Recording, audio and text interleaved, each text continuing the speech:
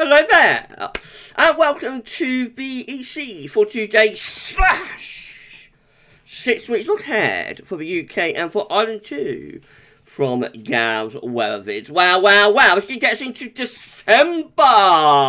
Can you believe that? Week number six will take us into the opening days of December and also meteorological winter 2022, 2023. So an epic update coming up. Goodness gracious me. I shall get something back for you in a moment. Just to say about the first video today was our 6am upload.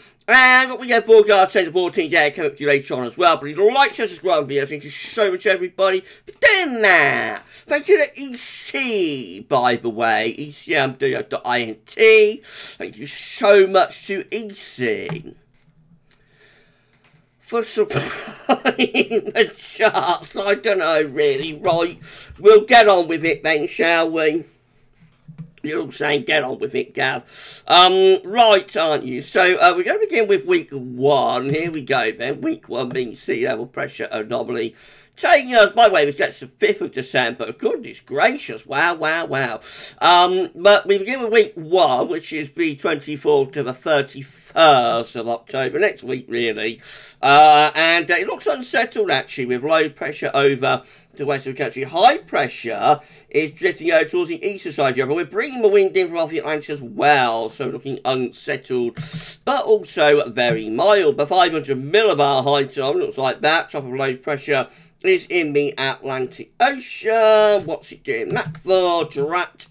Uh, let's do that again. Travel again. Again. Travel low pressure is in the Atlantic. High pressure is moving over towards the eastern side of Europe. And up are coming those really, really mild, if not warm, southerly winds. So check this out. Temperature anomalies next week uh, week one are going to be way above average in those red colours. That's like 3 to 6 degrees above average. Some parts of France Germany are going like 6 to 10 degrees above average. My word, that's warm, isn't it? Very, very warm. So uh, temperatures are going to be above average uh, next week. And precipitation-wise, you look like this. So it's actually going to be a bit wetter than average in western areas, but not overly wet. I would have thought we would have like a wetter week than that, but there will be kind of drier days early next week, I suppose. So that probably keeps it from being too wet. But on the unsettled side, anyway. Right, that's that one done, everyone. Week two will be the 31st of October, 7th of November. There we go. So uh, this one will take uh, low pressure to the north. We have low pressure to the north. High pressure will be to the south. So it looks like we're going to like a westerly flow, I would have thought there, through the first sort of week of uh, November. This is how the uh, 500 millibar high looks from the Arctic and North Pole view down. So that shows like low pressure to the north, high pressure south. Looking very zonal, that just looks very zonal. Winds coming in from like a west or a southwesterly direction. The temperature anomaly for week two is going to be looking like this. So it's still above average, not quite as hot as it is in week one. The warmest anomalies are actually being pushed more towards the central part of Europe. Wow, wow, wow. Wales, the UK and Ireland has the temperature just a little bit um closer to normal, but still above average, still going to be nice and mild. You won't need to worry about putting your fire on, you know, your, your heating and that. I wouldn't have thought. Um, now that looks all right. Uh, Precipitation-wise, that looks a little bit wetter, especially in the north, but it's like a near normal signal. But dry has gone down to the south, so I reckon that's rather unsettled, but mild through the first week of November. Right, we're cooking with gas now, aren't we? Week three will be the 14th of November. Oh, now this one, oh, now this is a little bit different with below average heights appearing to our west and southwest. The high pressure like it's slipping over towards the uh, southeastern part of uh, Europe and the Med. Um, that's rather strange enough. Let's have a look at the 500 millibar heights. Uh, well, they look like, you know, they're just how they were, don't they? With above average heights through much of Europe, low pressure down here. And actually, the upshot of that might be just push up more southerlies, to be honest. That's the upshot of that probably start pushing up more very warm air from the south. But temperature anomaly for week three is above average for the UK and for Ireland for most Europe as well precipitation anomalies. They look a little bit on the wetter side, so we could be shaping up for a wetter start to November. You remember last week, EC was forecasting a November drought. Well, it looks like that's gone up the pictures, doesn't it, really? and uh, now we're looking like we might have November floods. So there we go. I do say it's only a snapshot. oh, I do say it's a snapshot, you know, what model is showing. Um, right, so week four um, it's going to be the 14th to the 21st. I'm so sorry, everybody. And uh, we get some above average heights in the Atlantic and they go towards Greenland. So a little bit of a blocking signal maybe there. Could there be a trough of low getting going over Scandinavia? If there was, perhaps we could get winding to the north. I don't know. Let's have a look at the 500 millibar height anomaly, see what that one's doing. So, yeah, we've definitely got a Mid-Atlantic ridge here, haven't we? Uh, and it's up towards green as well. Trough of low somewhere around there, maybe. Could that pull wind into the north? Let's see if the temperature on it starts coming down. Come on down. So there we go. Temperature week 4, 14th, 21st of November. Still like hinting to be a bit above average, but closer to normal. Actually, a little bit of blue appearing near Iceland. Not much of a cool down, but might suggest the start of something going on. something could be going on there. Let's have a look at the...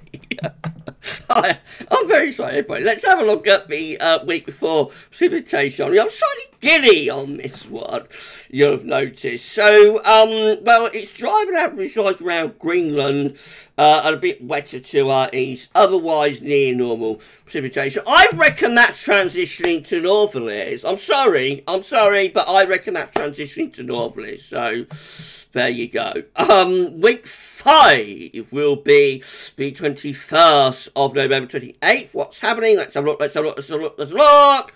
Um, oh, that's quite, oh, that's quite interesting as well, with uh, higher pressure just to our north and northwest. Now, could that pull the wind into the northeast? Could it pull wind into the northeast, everybody? What do you think? What do you think? Uh, what do you think? Um, week 5 mean sea level pressure. No, 500 millibar height anomaly looks like that. Above average height. Just generally knocking around the North Atlantic, really. Um, I reckon that could be cooling things down, I have to say, the second half of November. Temperature anomalies are a little bit above average. Everyone does not want to go for anything cold.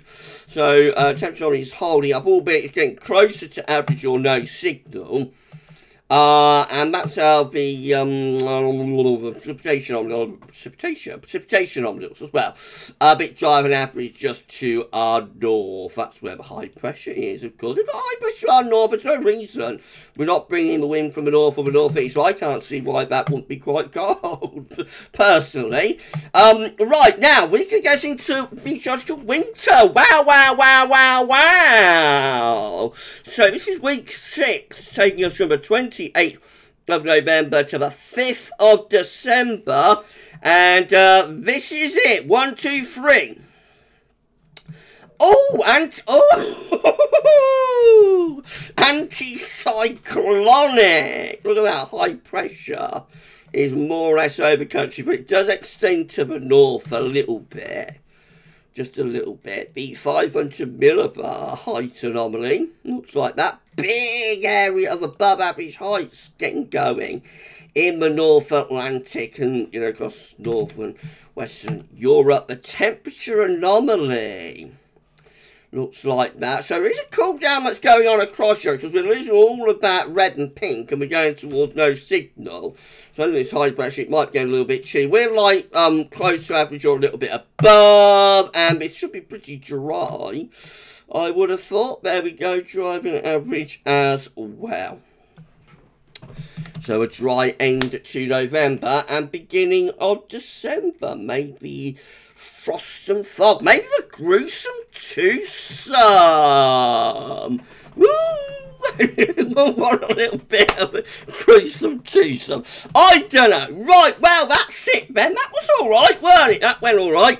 Um, so, uh, we've flipped last week's idea of a November drought. It now looks like we're going to have a very wet first to um, November, and then it gets drier and possibly a little bit colder maybe just a little bit colder later on in the month, but of course we'll have to wait and see about that. Maybe just a snapshot of what the model's showing this week. It could look totally different when we look at this next week. You've actually probably on past evidence. But there we go. We, you've uh, had a look anyway. Uh, so uh, that's that one done. Right, we tick that one off. We're going to do weekend forecast next. I'll see you back in a mo. And uh, then we will have the 10 to 14 day, which is going to include all our regular features. So uh, make sure you check that one out. For this week's EC 42 day slash. So This week's all have that's all for now. And thanks for watching. Bye